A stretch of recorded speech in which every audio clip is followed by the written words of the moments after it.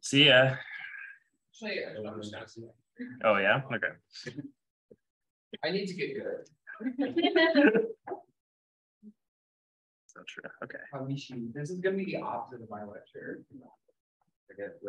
We What? spent an hour on. Your election was get, your lecture was get bad? Um, no, my lecture was like, the imposition of getting good is. Ah, the yes. Imposition of the social construct.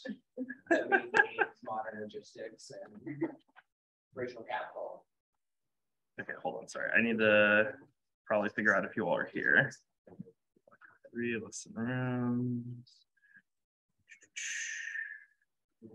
All right, we got Annie and Nora. Luke is in quarantine, is that right? He's not on the Zoom. Michi, Kabir, Carson Bates. Okay. Robbie Parikh, Here. okay, Kylie Kim. Uh, Nicole.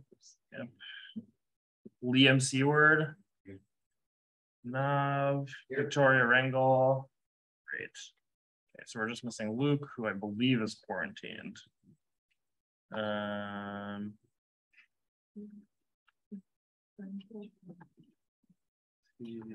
questions for me.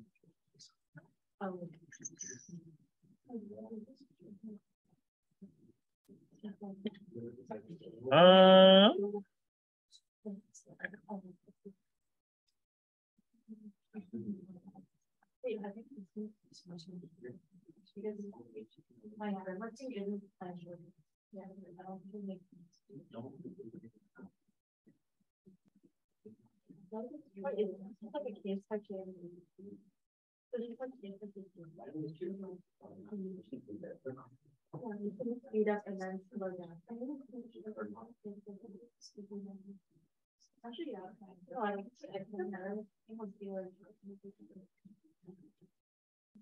Luke Park is out of room. We don't, Luke Park is not here, right? I'm not being an idiot.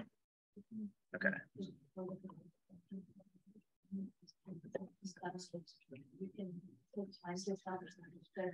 Okay, um. So we're here to talk about getting good. Before we, before we get into talking about, so this, this, the goal of this is, I'm not really gonna be very granular. A lot of these other electives are gonna focus a lot on like particular skills or particular, like what do you put in the two AC, like how do you extend the theory argument, how do you make a particular argument in the best way possible. This elective is not really going to be about that and is instead going to be just like the most zoomed out view possible, where we're going to try to figure out what separates debaters who are good from debaters who are great, and what separates debaters who are great from debaters that are transcendent. So before we get into that discussion, I think it's fruitful to recognize that good is relative and subjective, and what it means to each individual person. Ah, there we go. Now he is here. All good. Um, what it means to each individual person is different and depends on your goals. So why don't we, I'm, I'm curious to hear this from people. So like, I'm sure many of you have competitive goals from debate. How many of you care about the competitive aspect of debate? Okay, pretty much all of you, all of you. Yeah, okay. Um, how many of you have other things that you want to get out of debate? Tell me about some of those. Yeah. I mean, it's more about like the wording and then defining it. and, like, my- So you think like learning is just something that's inherently valuable that's like separate from the competition part? Yeah, I mean, like at least last year would be like one up and like we did the cake because I just liked it. Mhm.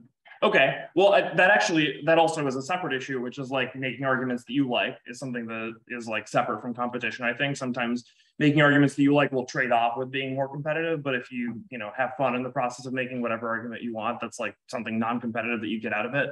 What else? Yeah. uh, research itself, like is a skill which I think is really like. Yeah, so like getting practice at skills that you think are important. Yeah, what else? Yeah, like I agree with the research, but I think also like the ability to learn about like, uh, like current events and I mean, specifically at this NATO topic, learning more about like international application, international law, it just sort of expands your knowledge, and expands your horizons, and then I feel like also, um, like, uh, this, there's sort of like a friendship atmosphere that comes out of here, as well It's like a social atmosphere where people share common interests, which I think is good. Social atmosphere, sure. What were you gonna say? We, Yeah. oh, like being able to like develop persuasive speaking, so like thinking on the spot and like. Uh, like constantly defending different arguments that you might not believe in. Sure. How many of you all have like teams that you all are helping to maintain or that you hope to carry on in the future and novices that you like working with that you want to be good in the future too?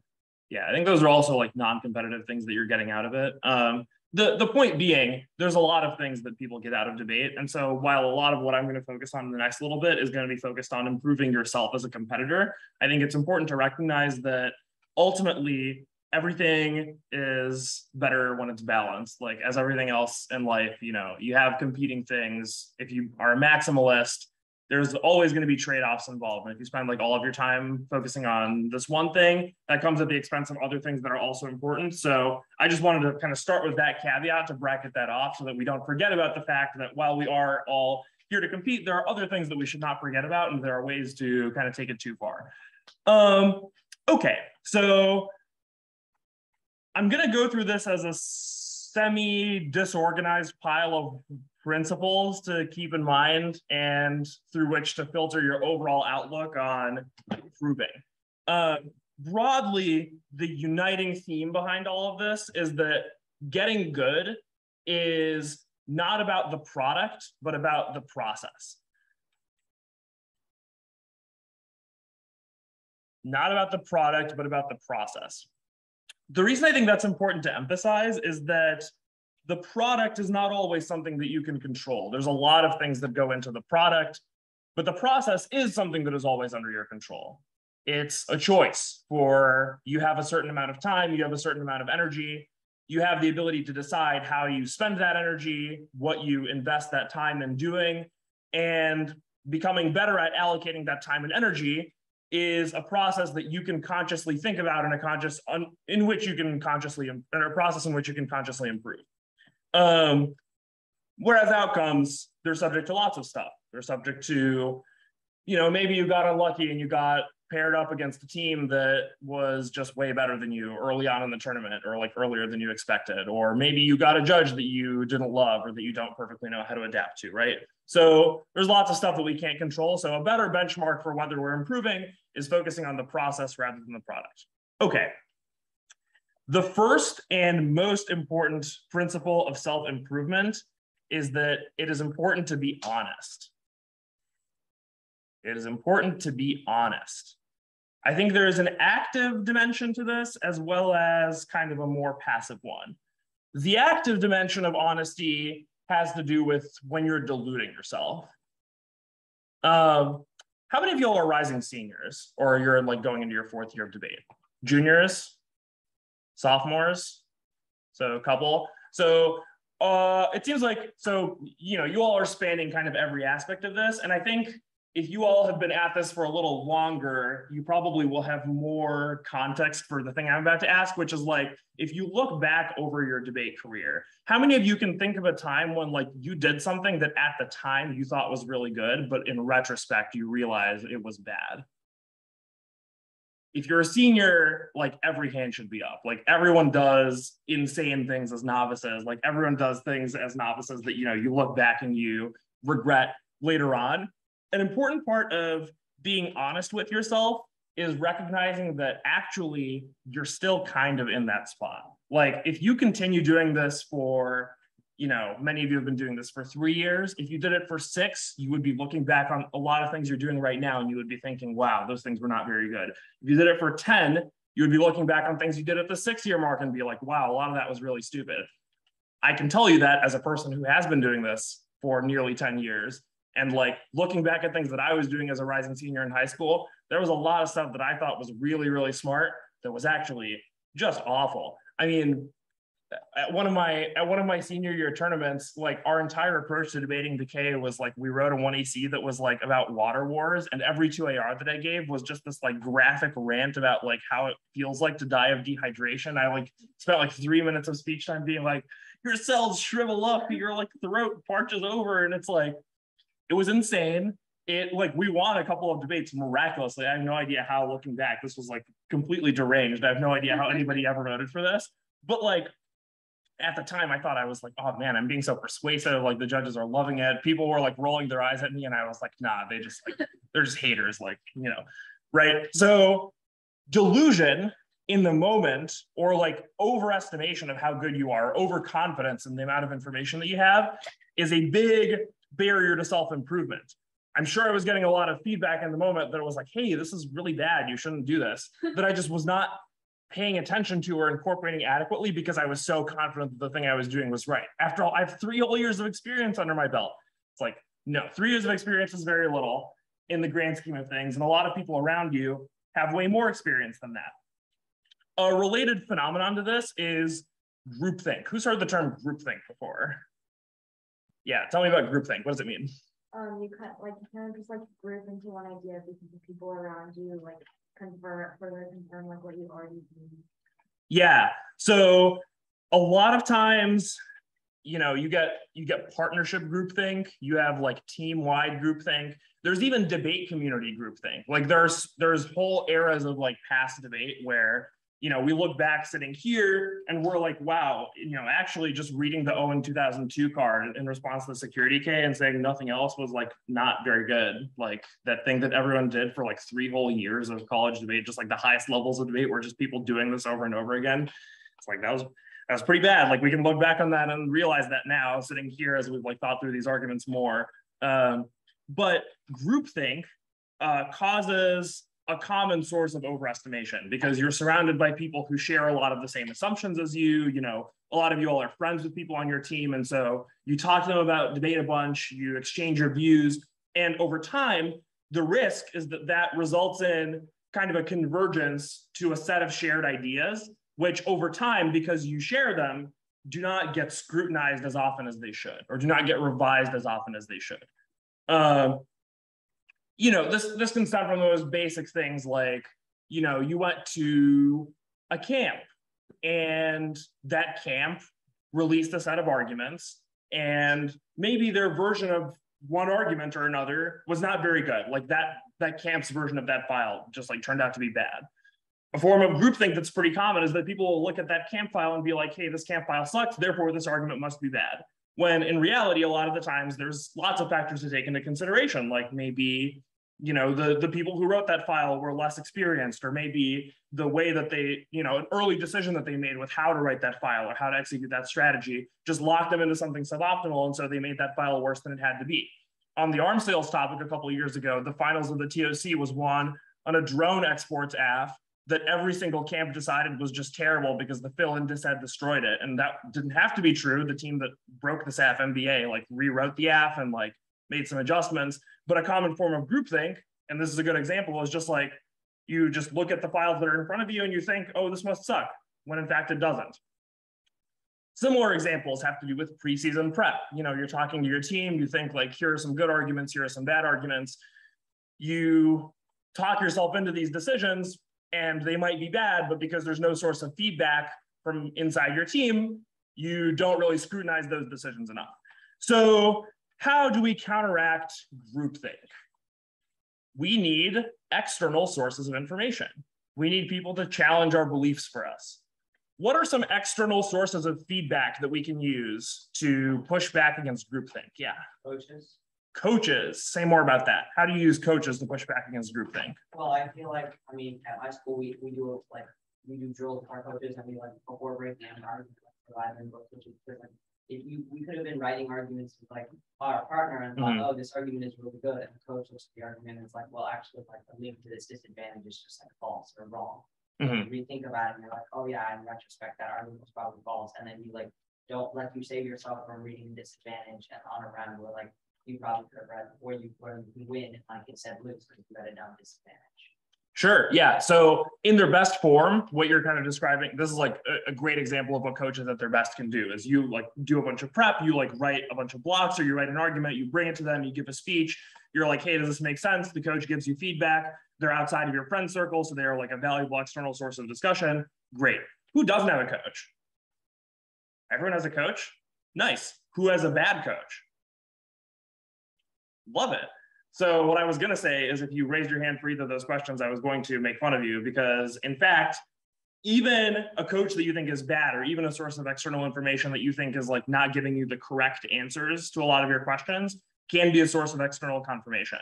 Um, I'm sure this will come up as asked the next question, which is judges are obviously a good source of external feedback. How many of you have had a bad judge or a bad RFD? Uh-huh. So when you're confronted with a bad source of external feedback, with some people, it's a coach that's like an English teacher and doesn't know anything about debate. For others, it's like, oh, I showed up at a tournament and got judged by a parent. You have two choices for what to do with this information. One choice is to write it off and be like, you know, screw them. They're the worst. They're an idiot. I'm just like so much better than them. And they like don't understand the brilliance of my argument. And they have nothing to teach me. So I'm moving on from here. Whatever. It's fine. The other choice is harder. It requires more work on your part, in part because when I say that everyone can provide a useful source of information, I don't necessarily mean that every single person you interact with will be able to directly teach you stuff, like tell you, here are the four things you need to do better, and then you can just do those things and improve. For a lot of sources of information, it requires more active work on your part.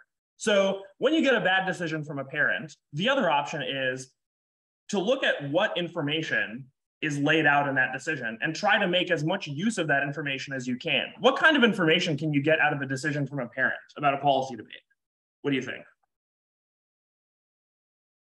Yeah, Like, they vote on who made them, who sounded better, like who made them feel better. Or yeah, like an impact that they like, so like, an impact that they kind of like felt resonance with. So like, if you read an impact about global warming and they're like, for example, like. A scientist or someone with like dealt with the ozone layer or something, Mhm. and they're gonna be like, oh yeah, I resonate with that impact, or like. Also, the thing about policy debate is sometimes the impacts are a little out there. uh, And so like the idea of reading the impact appearance about like, oh, regulating like AI. Or like re- like amending Article five of NATO is gonna cause like massive war, is gonna prevent like massive war between like. Russia and China, like Hungary democracy is key, like those arguments seem a little far fetched and out there, so sometimes they'll vote on the arguments that like make the most sense. yeah. So I think you made a ton of good points there. One that's often overlooked is that parents, you know, people are experts in more things than just debate. Like I know it's like people show up to debate and like they're experts in debate, and so you think that they can give you good feedback. But like, yeah, a lot of parents are just like they have careers, like they do things with their life. They read. They generally have raised debaters because random parents generally don't come up to, but like they they're raising a person who is intellectually curious and like interested and invested enough to do policy debate, which implies a certain amount of curiosity from the parents as well. Like generally, these are pretty smart people. These are not like idiots who are showing up. They're just like people who have other sets of priorities or other sets of bubbles where they are experts and intelligent and good at what they do, right? But that doesn't necessarily translate directly into what you're doing. So that translation can be done by you, right? Maybe they just know a lot of information about this area and you can ask them like, hey, what's, you know, what are some of the some of the facts about this? Like, what's, you know, you can teach me some stuff that's like factual, substantive information about the area. Another issue is adaptation, right? So how do you convince a parent that an AI impact is a problem, right? Do you focus on Terminator, right? Or do you focus on a more plausible explanation that starts with the ways that the parent is seeing their lives and their day to day influenced by AI and build out your impact explanation from there, right? Do you sound good? Do you use your voice as a tool to keep the person engaged, right? Those are pieces of feedback that a parent is very well positioned to give you that are relevant to all of your debates, right? No matter how expert or fluent in debate jargon a person is, they're going to benefit from the increased engagement and the increased outreach that you can learn by talking to a parent about a decision that they gave based on their whatever limited expertise that it is. What other kinds of information can we get? How else can we get feedback? We got parents, we got, or we got judges, we got uh, coaches, what else? Yeah. Lab leaders and assistants. For sure, yeah, lab leaders and assistants, and kind of a similar vein to coaches. Uh, I actually think in a lot of ways, lab leaders and assistants are more useful for a lot of questions than coaches are because of that same groupthink discussion, right? Like no matter how independent of a debater you think you are, a lot of what you learned about debate came from the people that taught you the first set of things that you learned, right? Someone explained what uniqueness, links, and impacts were to you, and the way that you thought about those concepts trickled out and shapes the way that you think about other arguments, whether you're aware of that or not. And so interacting with people who have different assumptions, who were brought up by different people, who talk to different groups of debaters about different ideas about debate theory, really, really helpful source of external feedback. What else? Yeah. Like other debaters. Other debaters. Yeah, both on your team and your opponents.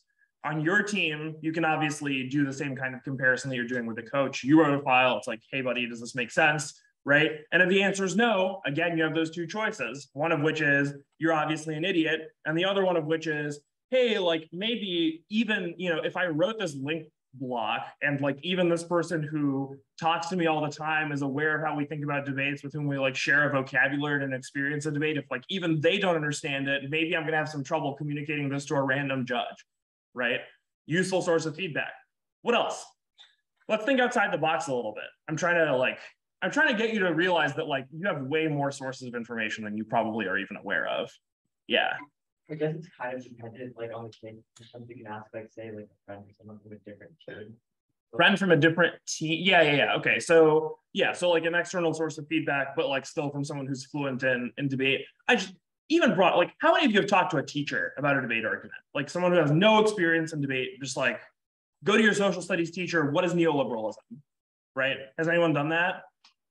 Yeah. What's an argument you talked to a teacher about? So, we used to be like a debate coach in the nineties, but like, I think it was like freshman year asking about like answering on things. Answering Rory, I think that's the name of the author. Oh, Rorty. Oh, sure, sure, sure. Yeah. So like if you, you know, a lot of concepts in debate are based on this like broad philosophical tradition that a lot of like quote unquote lay people will have way more ability to tell you about than someone who's a debate expert. I bet you go up to like 90% of debate judges and they will not be able to tell you anything about like the classical American pragmatist tradition. Uh, whereas a social studies teacher might be able to get into the meat of like, what does Rorty say about framework? What does Dewey say about, it's like all those, uh, you know.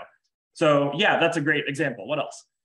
Yeah, Um, I would ask our AP Gov teacher about different like mechanisms for how the government works, like for court path or like court tracking. I would ask how that works and if he thinks like, like the Roe v. Wade case, like if he thought it would get overturned based on release.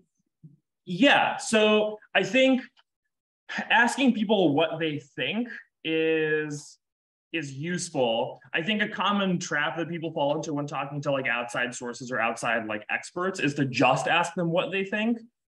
Just asking them what they think can be useful in the sense of it, it can like give you good feedback on like whether the thing that you're saying is baseline reasonable. But I think even more useful is asking people like that why they think those things. And that can help you for the reason of giving you tools to explain the argument in a debate. But also, this is just a generally very useful question to ask anybody that you ask about any belief. Like a lab leader tells you something. Why do they think that? Or a judge tells you something. What led them to that conclusion? Or again, social studies teacher, like maybe you're asking them like, is Roe v. Wade going to get overturned? Why do you think that? They might tell you some news sources that are worth following along that gave them that useful source of information they might share a broadly pessimistic outlook on the trajectory of the Supreme Court that might tell you a little bit something about the vibes that judges are going to respond to your argument with. They might tell you something about, you know, just the the kinds of uh, kinds of information or the kinds of predictions that are useful to make as a political activist rather than not useful to make as a political activist. So point being, lots and lots of ways to get feedback on this issue. I think to round out this conversation about honesty, one of the most important things to keep in mind, and we'll circle back to this, is the role of ego in being honest with yourself. And by ego in this context, I don't mean like having a bloated ego or like having a super inflated sense of self-worth, like you think you're the best. Although some people do, I think, have that impression. Um, you know, the stereotype of the douchebag debater does not come out of nowhere. Like there's certainly some, you know, people where like if the shoe fits. But what I'm talking about here is not like you think you're God's gift to debate, but rather that you think that your self-worth or you think that your value as a person is somehow linked to how good of a debater you are. The reason that kind of thinking gets in the way is that it makes it hard to be self-critical because when you are being self-critical, it, makes you kind of think that, you know, if people are giving you feedback, it makes you feel like you're being attacked as a person, or if you're criticizing yourself, it makes you, you know, it makes you want to look away from your flaws or like just focus in on things that you're already good at and like revel in the things that you're already proficient at rather than like looking at the points where you're really deficient and you need to improve, right? Finding self-worth in things that are not your skill level and are rather, again, this process over product thing, right? Finding self-worth in debate is fine, but it should be focused on things that you can control and it should be focused on things that are your choice. All that you can control at any given point is, again, how to spend the limited time and energy that you have available to you. And if you're making the best choices for that, you should be proud of that. If you're thinking about improving the way that you make those choices over time, that should be a source of pride for you. What should not be a source of pride for you is I wrote my conditionality block and it is perfect and nobody can tell me otherwise. Because then when somebody tells you otherwise, you start thinking to yourself like, oh, this person is attacking me, or oh, I'm a piece of shit because like this thing that was the source of all my debate value is actually like, you know, it's actually it actually sucks. Like this person that I respect has told me that it's terrible. Both of those are bad extremes. You know, the conditionality block you wrote, it's the product of a process. If that process was good, you should be proud, but you should be willing to revisit what your conditionality block when somebody tells you that it needs improvement. Does that all kind of make sense? Related note, and this is kind of an even more zoomed out thing rather than any particular you know source of information is that you should assume that others know things that you don't and when you interact with people in debate you should act accordingly that assumption will not always be true there are in fact people in debate who are not as useful sources of information as other people right? Like I said, there are going to be people that you interact with in debate. Like if you teach a novice, the novice is not going to tell you, your advice is bad. Here are my three points of actionable feedback, right? You're going to learn in other ways from your interactions with a novice, right? You're going to learn about, hey, this way that I explained this argument didn't land with a person who is not fluent in debate vocabulary. Let's see if I can take another crack at it and do it differently. Or like, where did I lose this person? Where's my explanation suffering, right? So the reason it's better to approach things in this way is that even if it's not 100% right all of the time, it will be right more often than not. And the reason is that debaters are smart. We are in a very, very intellectually driven community, and the vast majority of people have something to teach you cumulatively, like even in this room, you know, you all have not, you know, some of you have varying levels of experience, but like cumulatively, if each of you looks around, you there are orders of magnitude more hours spent by other people in this room thinking about debate rather than by you, no matter how experienced you are, right? Like cumulatively, all of you have way more debate experience than I do, right? And so, you know, if I'm talking to one of you, the odds that one of you can be like, these things that you have said are wrong, like might not be as high but like cumulatively, there is assuredly a lot of things that the people in this room have to teach me, right? And the same is true for you, right? Whenever you interact with a group of people in debate, those people have way more cumulative experience than you do, and assuredly you have something to learn from them.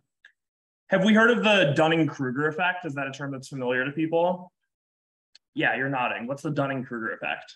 It's just like people who know like the smallest amount of topics think they know the most. People who know the smallest amount of topics think they know the most. Yeah, there's a good. I'm gonna put away these Post-it notes here. Um, yeah. So the the idea is this. So there's a chart. This axis is confidence. And this axis is competence. That's says competence. Pay no, ignore that. Um, and the idea is, you know, you start pretty low, you're pretty incompetent, you know that you're incompetent. This is like you show up to day one of novice practice. Then you like go to a bunch of tournaments as a novice, you like win a bunch of novice tournaments, and you're like, oh yeah, I fucking kick ass. and then, you know, this is this is what we call the uh, peak of not stupid.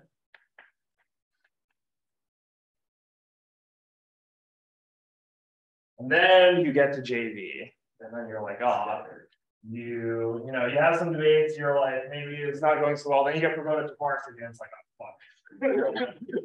You're like taking a bunch of L's, this is called the, uh, the Valley of Despair.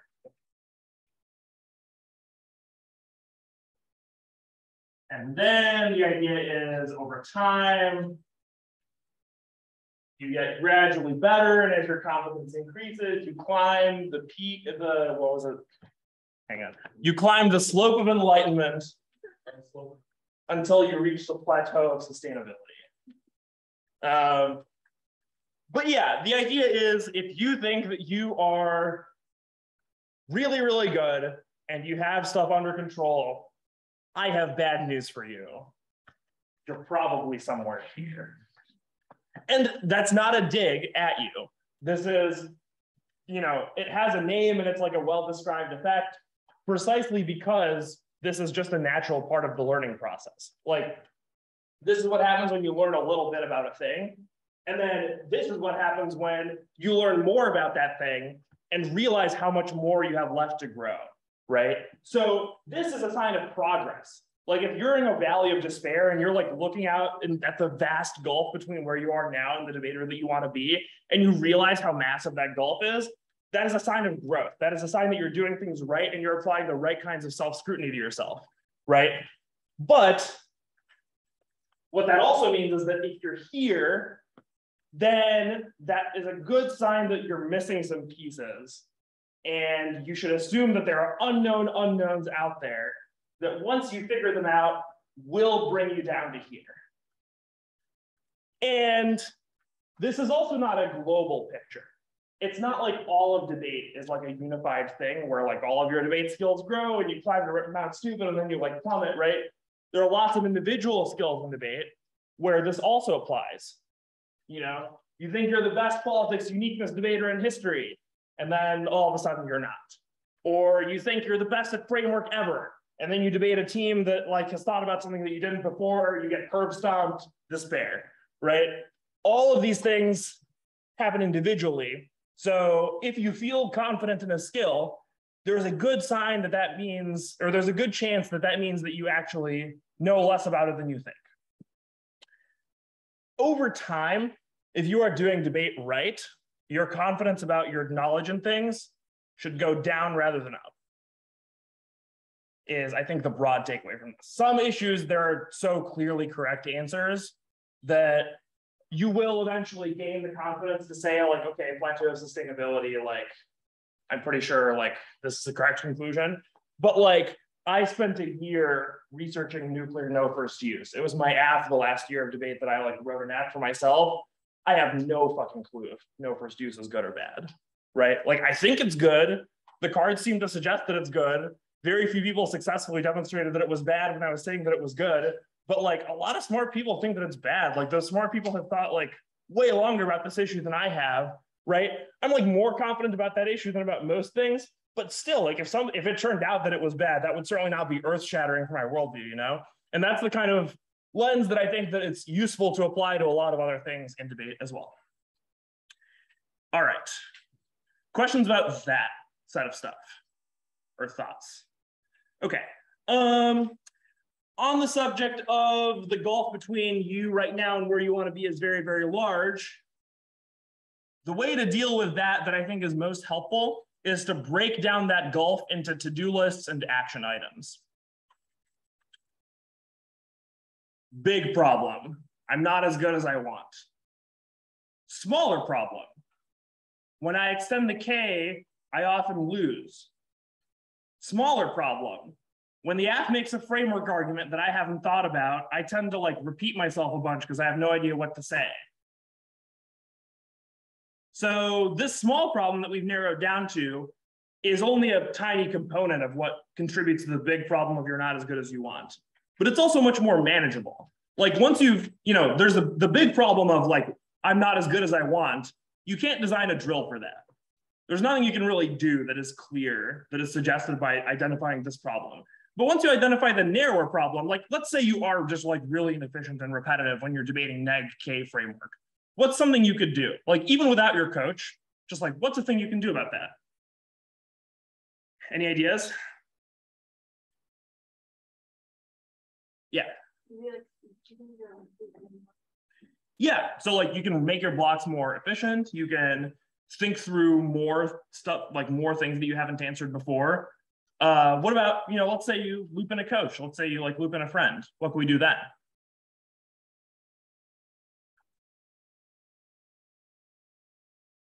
Yeah.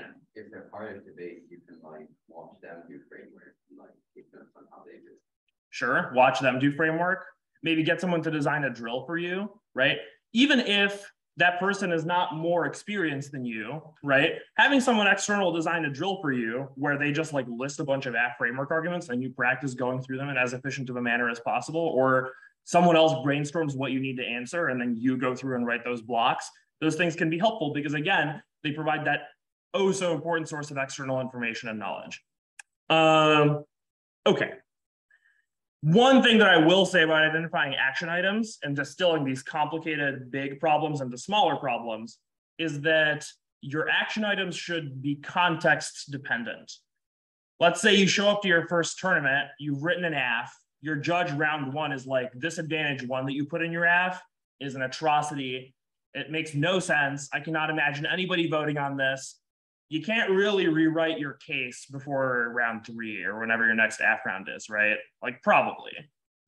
It makes little sense to spend your time thinking about that aspect of the problem now that the tournament has actually started. Certainly fix it for next tournament, but for now, let's say your advantage one is terrible. Like, what are some things you can do to adjust for that? Yeah. You can like write out, because I feel like it's easier to write out case arguments for the advantage. Think if they make like strong arguments against advantage one, we like block out advantage two. You know, go for that. Yeah, there you go. So easy solution, go for advantage two, make advantage two way better, right? Um, maybe you need other sources of offense, so maybe straight turn some stuff. If advantage one was what you were using to get solvency deficits to a set of counter plans, and advantage one turns out to suck, maybe go for theory if they go for those counter plans. Maybe read some add-ons because you don't have enough sources of offense in the one AC, so you got to add on some more. Yeah. Would it be feasible to like potentially if in like your second advantage, if you were to add like one more scenario and like completely scrap the first advantage and then just make like one big advantage? Yeah, if it's extreme enough and you already have the prep tools, yeah, that's certainly a thing that you can think about. I guess the bottom line though is that's obviously not a good long-term solution, but the things that you can do to remedy particular problems are situational. And so thinking about what you can do in the moment, given the path dependence that's been created by your past decisions, is a valuable way to think about the issue. Okay, Next big idea is that the buck stops with you. Has everyone heard the phrase the buck stops here?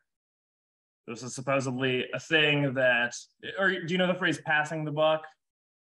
Like, I'm not responsible for this. This is someone else's problem. I'm passing the buck. Um, I think it was on, was it on FDR's desk or something? There was a plaque that said the buck stops here. It's like once the buck gets passed to me, I'm not passing it off to anybody else. I'm solving this problem. The point of the phrase is stuff is your responsibility. Like when you go into a debate, it doesn't matter if it was your partner's job to update politics and they didn't update politics. It doesn't matter if your coach's job was to fill out the prep sheet and they did a really bad job and so you have a terrible judge now.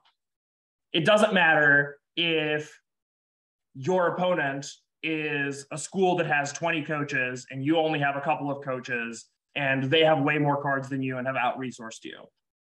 Those things impact the debate, but it is still ultimately your responsibility, given the situation that you're in, what to do with the situation and the tools that you've been given. That's not to say debate's fair. As I just alluded to, a lot of things in debate make it unfair.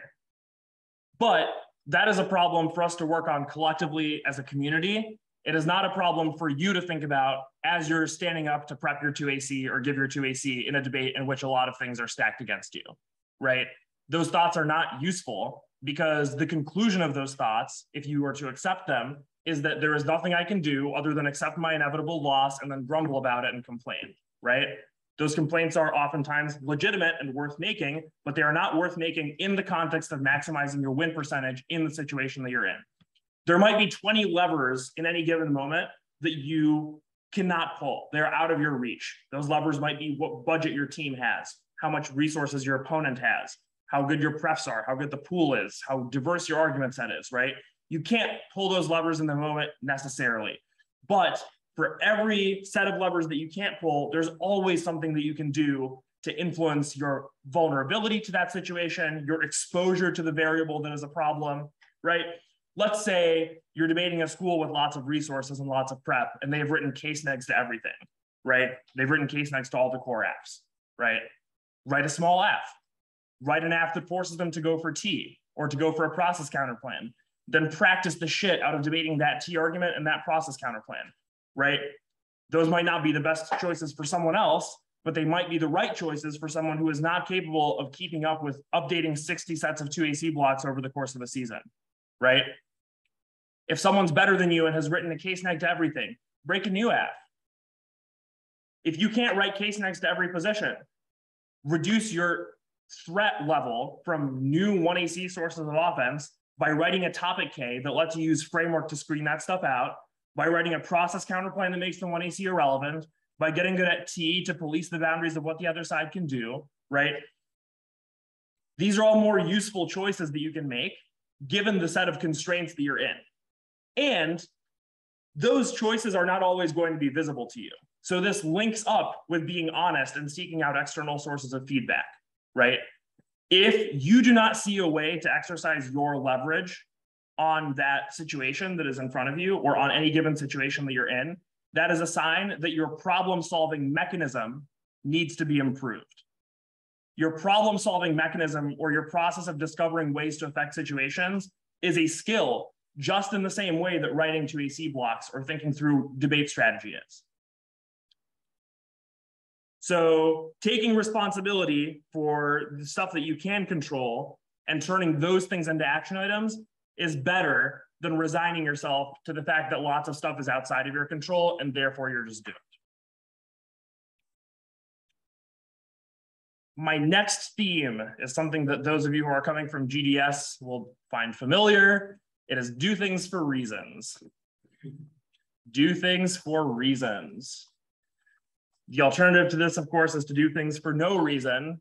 And you might be thinking to yourself, well, obviously you wouldn't want to do things for no reason but a lot of you do things for no reason all the time.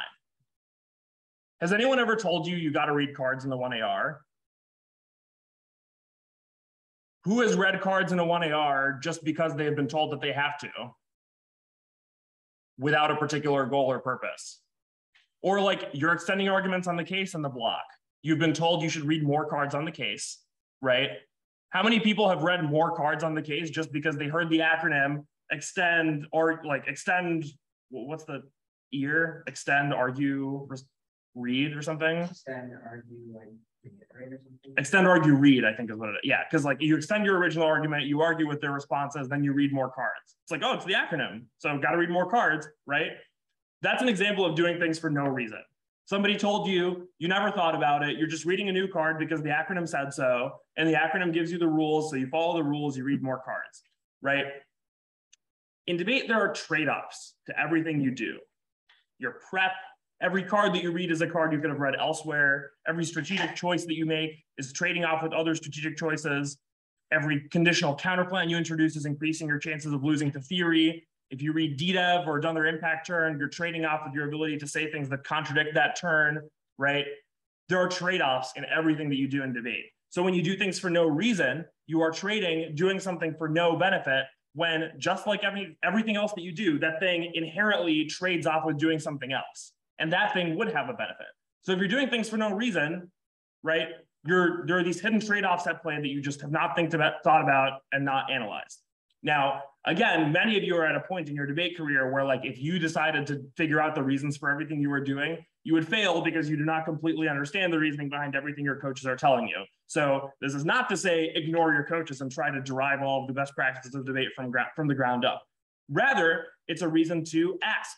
You're told by a coach, read more cards in the 1AR. Why?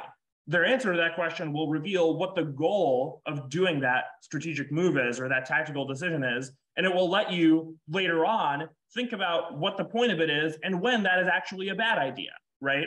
It might tell you, oh, actually, in a framework debate, a lot of times it's not that helpful to read extra cards. Or like in a K debate, A lot of times in the 1AR, when you read extra cards, it's trading off with explaining your two AC cards, which would be way, way more valuable because the, the K argument hasn't really evolved in the block, right? When you ask yourself the purpose of these things, you can make decisions in a way that's informed by what you're trying to actually accomplish rather than just doing things because someone told you to do it. The last bucket before we do a little bit of questions and musings from you all is that it is important to take care of yourself and to take care of others around you.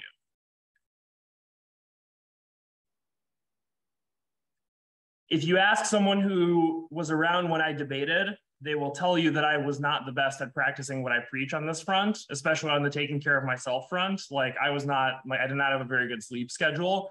But as someone who has come out on the other side of that, I can also tell you that looking back over my debate career, there are many, and I mean many losses and near losses that are directly attributable to the fact that I did not get enough sleep or I did not eat food and I was hangry instead of looking at a situation like rationally, right?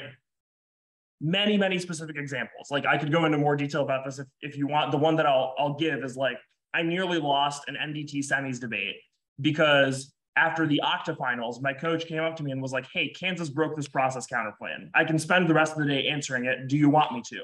And I told him, no, fuck off. Don't want that. I wrote an aff. I'm pretty sure it like beats the strategy. Don't care. We get to the semis. Kansas reads this process counter plan. I look at my pile. I realize A, I have not made a 2AC block. B, my pile completely sucks. Kansas agrees that it sucks. It's the entire 2NC luckily they read a new impact in the 1NR. We kicked the aff. We like impact her in the disad for five minutes and like it was fine. But like, my God, if they had not read a new impact, I would have felt so stupid if I lost to this thing that my coach was like, Hey, do you want me to work on this for 10 hours? And I was just like, no, because I was like tired. I hadn't slept for the three weeks before the tournament and I was delirious. And like, I don't know.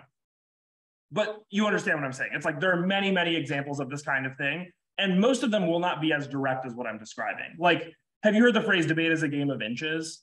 Like it's all, you know, you're, you're eking out like incremental benefits or advantages. Sleep and rest and food really matter at those margins.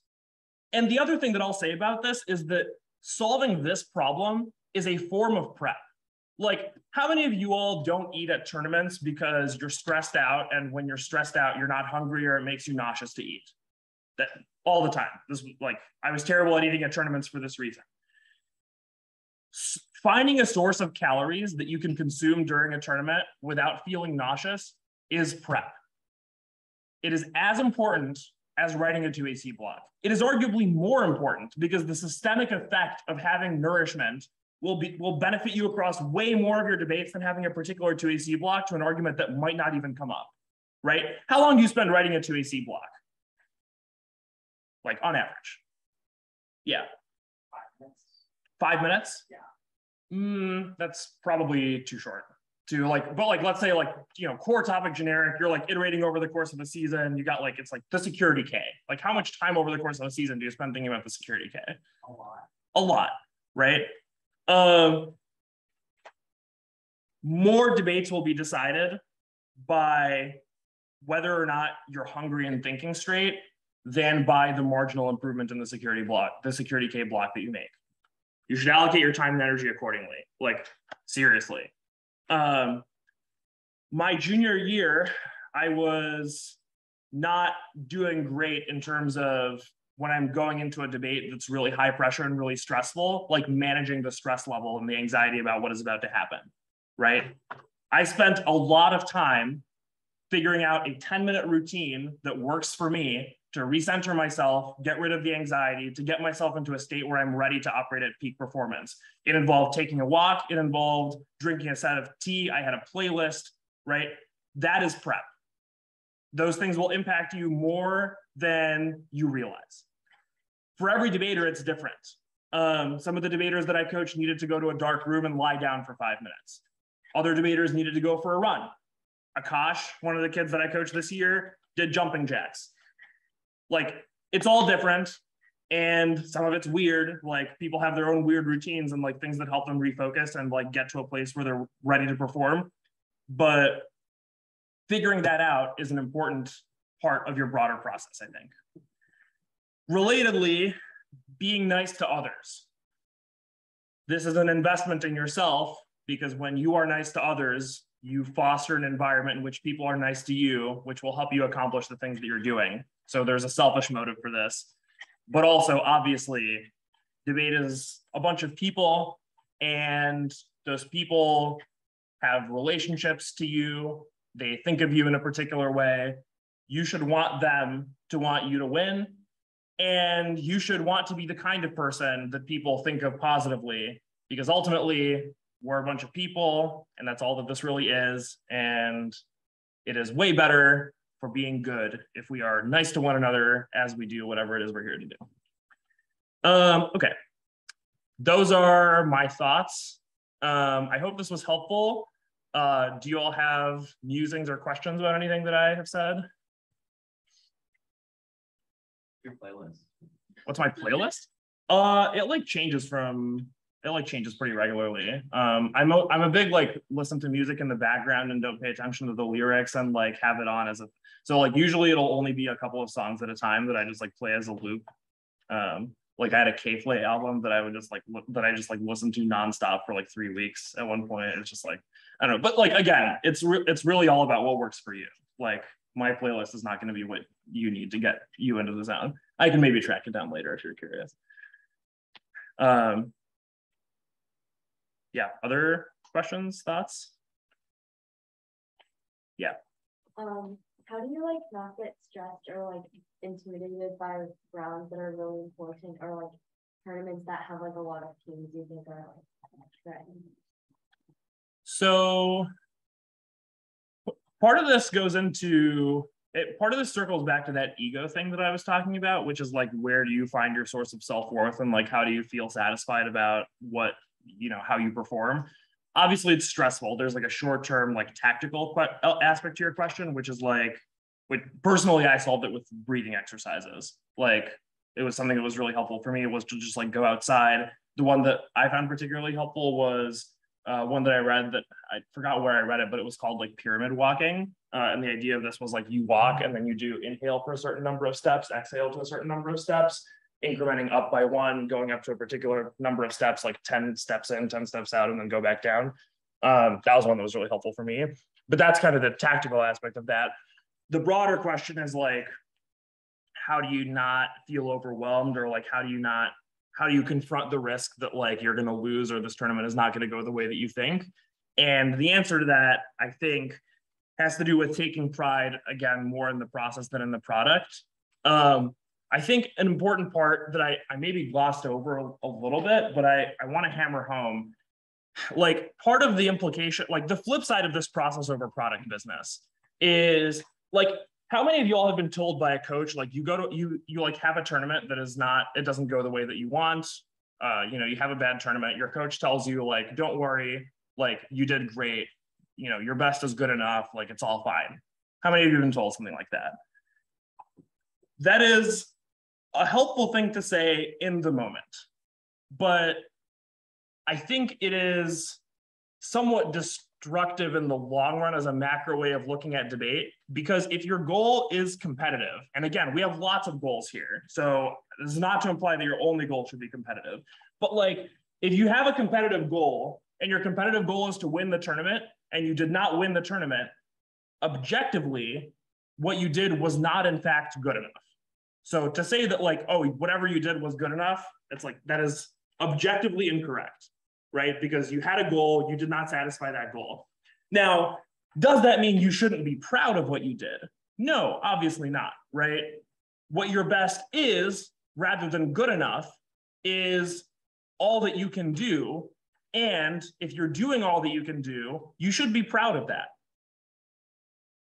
But part of being proud of your process means acknowledging that what you did was not good enough. And that's true even when you win. Like, I think what distinguishes the best and most, you know, most ruthlessly and quickly improving debaters that I've ever worked with was that, like, even after they would win a tournament, they would be like, all right, redo time. We like crushed this team in the semis, but I feel like my explanation of this chunk of the debate wasn't good enough. Here's my rewrite. What do you think? Right or like this uh, i mean uh I was working a lot with uh, Northwestern DF over this last year. Like you would think they're like one of the best teams in the country. Like, what are you know what work could they possibly use on fundamental skills? In the middle of the year, they came up to me and were like, "Hey, we feel like our impact calc is not good. We need a lot of impact calc drills. Can you like do a bunch of impact calc drills?" We did like 15 sets of impact calc speeches over the course of the second semester, and it's like you would think impact calc would be something that, that they have down, but like they and you know obviously they were quite good at impact calc like in the grand scheme of things but they were like this is a place where we're not doing as well as we could be doing and this is a place where we can eke out a source of relative advantage. So i guess this is all to say that like you know it's you're not going to eliminate all of your stress before the big tournaments but it it helps to think of it in terms of like are you doing the things that are under your control? Is your process as good as it can be are you asking the kinds of questions about your process that I've been highlighting over the course of this? And if you are, what you do might not end up being good enough still, but it will be your best and it will be praiseworthy and it will be worth taking pride in. And that's all that I think you can really control.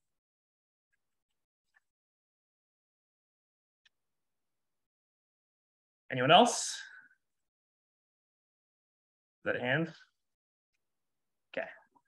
Um, For like the sleep thing, like how do you balance like prep and sleep? Because I always feel like, like I tell myself to sleep, but then like, I'm like, oh, like I need this, like, like I need to write this block and then I like, and it's like hard to like figure out when to like stop. Yeah, so in the vein of always doing things for reasons, part of the answer to that question is contextual, right? So like whether you stay up to write that block three weeks before the tournament is a different answer to whether you stay up to write that block the night before the tournament. If it's the night before the tournament, I can tell there are there are no rules in debate, but this is as close as it gets in my mind to one. The answer is go to bed. Like if it's midnight and it's the day before a tournament, I literally could not care less what cards you think you need to cut. Like, no, go to bed.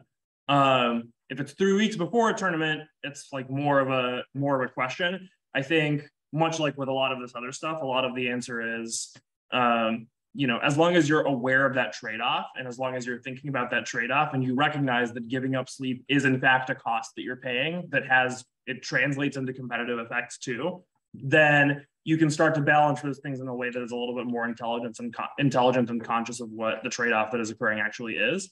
Um, and part of that it's like some people just need less sleep. That's i think true. It's like part of it is like it depends on what age you are. It depends on like what your other like how healthy you are as a person overall how much sleep debt you've accrued over the past while right? Like i don't know. So there's a lot of context specific questions. A lot of it is like what do your next couple of weeks look like?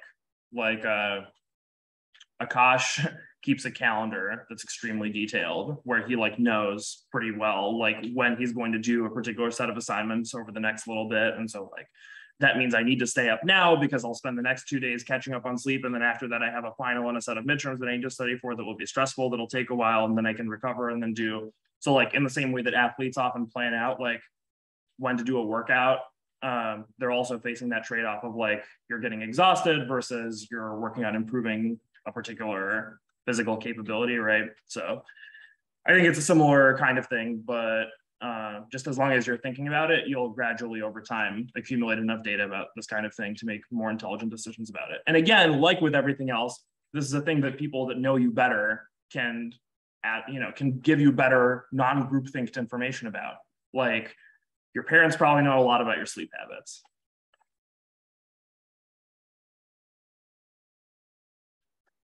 Uh, do you have tips for like when to recognize you're like burnt out and then like how to recover from?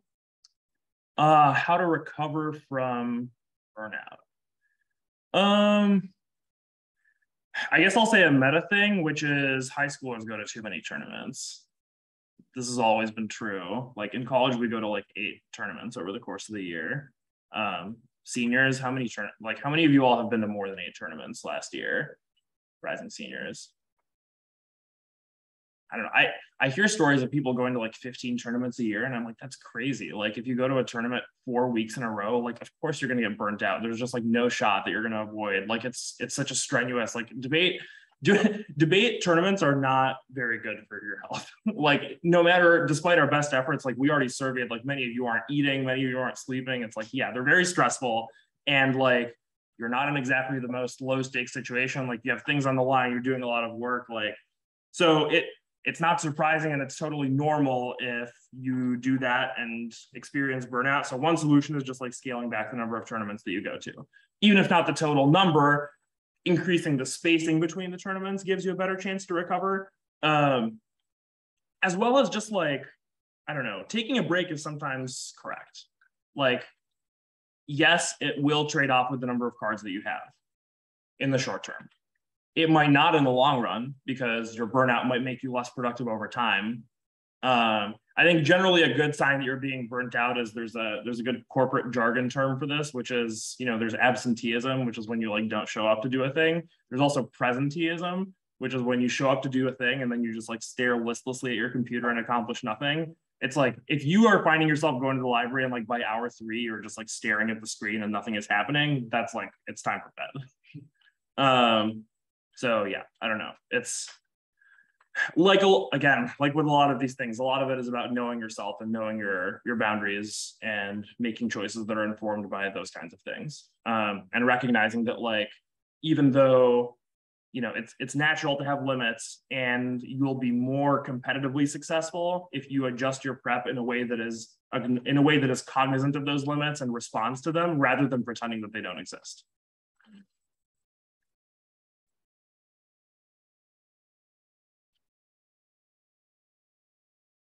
Um, all right.